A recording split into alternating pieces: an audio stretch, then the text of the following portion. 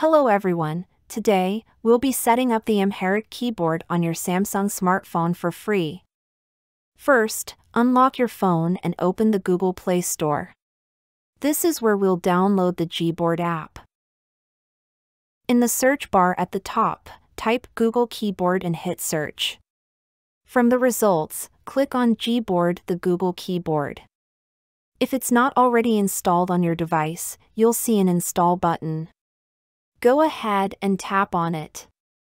If you see an Update button instead, click that to make sure you have the latest version.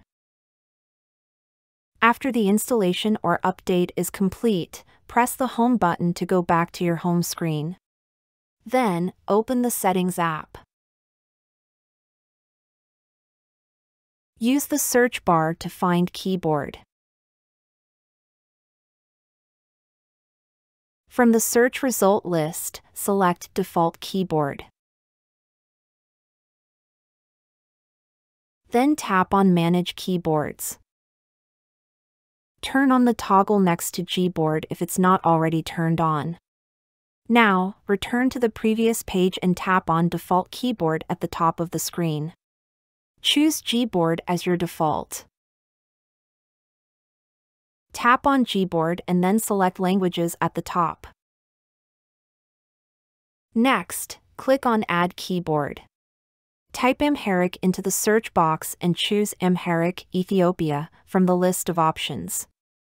Hit Done to complete the setup. Great! Let's test it out. Go back to your home screen and open any app where you want to type in Amharic. When the keyboard appears, you'll see a globe icon at the bottom. Tap it to switch to the Amharic keyboard. Tap again if you need to switch back to English. And that's it!